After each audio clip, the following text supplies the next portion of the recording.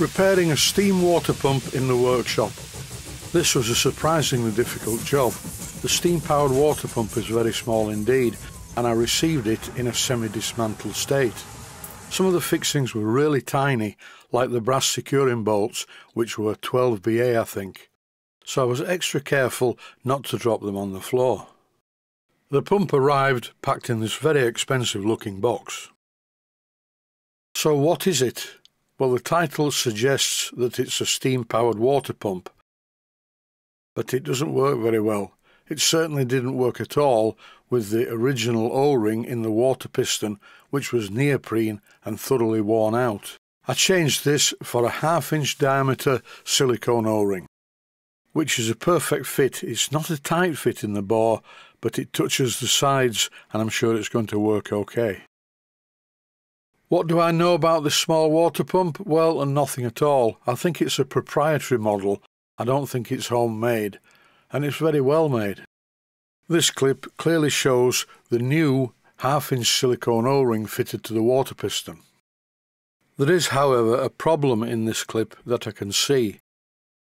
When the water piston was separated from the main mechanism, part of the gasket fragmented. And I don't really want to make a new gasket, so this is how I got around the problem. First of all, I smeared the gasket on the main mechanism with some Loctite 542, which effectively repaired the gasket. It's a hydraulic sealant, and once it's in place, it will be fine. Then I scraped off the gasket material from the water cylinder. Then I used my whetstone to make sure that the water cylinder was perfectly flat. This took quite a while, but in the end it was a perfect finish and it should give a good seal. The small amount of Loctite 542 smeared on the original gasket on the mechanism should ensure a perfect seal. These are all the other parts of the pump that were in a plastic bag in the box.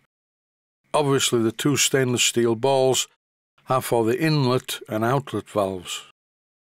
Just look at the size of the fixings the very small slot-headed bolts you can see that are made from brass are to hold the end covers in place on the shuttle valve housing.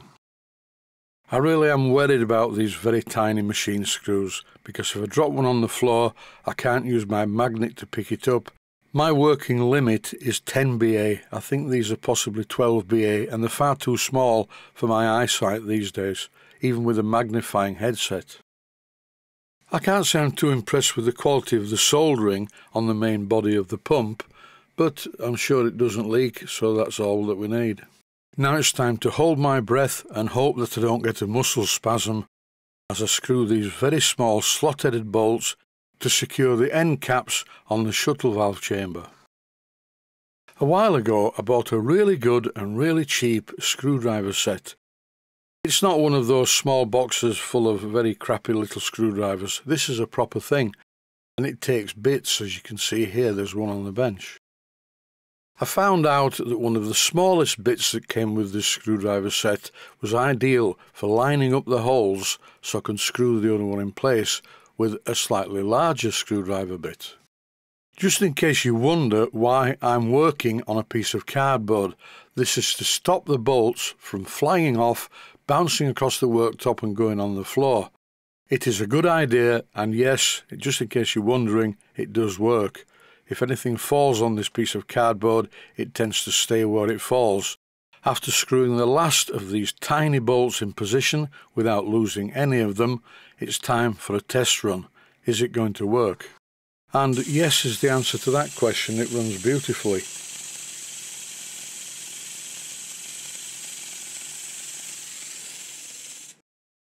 For the initial assembly, I am applying a very small amount of lubricating oil to the water piston. This is just for a test run before I pump water through it. The water becomes the lubricant. There was a problem with the bolts. Somebody's already taken this apart and changed some bolts because these bolts in the bottom are too small. These should be upper bolts at the top. Longer bolts have already been fitted in the top but these need to be for the lower part. This took a long time because I could use a nut driver on the bolts at the top of the pump, but when I needed to put them into the bottom part, I had to use a spanner like I'm showing here, and this really did take a while and was very tedious. After doing this, I read another chapter in my book, How to Jump Off High Public Buildings, but in the end I pulled myself together and continued with the job. As you can see, the black bolts, which are the short ones, are now in the top, and the shiny bolts, which are the long ones, are in the bottom, holding the entire assembly together. Time to test it.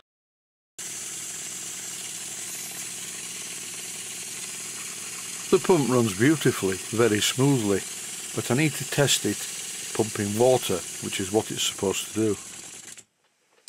This was a simple job. I just immersed the water inlet in some water, applied some compressed air to the pump and off it went, pumping the water very well and it pumps at a high pressure so there's nothing wrong with this at all. After a test run at various speeds and pressures everything was working fine. So I removed it from the tub of water just to dry it out. Believe it or not it took me two and a half hours to fix this pump and I wasn't being slow, that's just how long it took. All these clips are very much shortened from what they were originally. But it's worth it.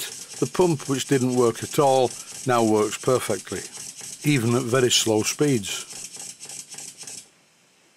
I found some union nuts and union cones that fitted the pump.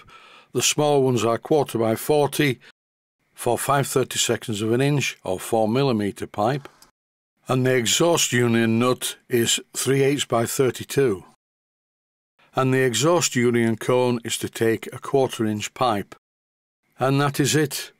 My friend's coming to see me tomorrow to pick up the pump and a condenser as well. And I'm quite looking forward to his company because he's a very interesting chap. And that's it for this one. The pump is back in the box but this time it works. Stay safe stay healthy. Thanks for watching and I hope you found it useful please take the time to visit my Mainsteam Models website and click on the section of the website that says Video Playlists. And by doing that, you can find other videos that you may like to watch.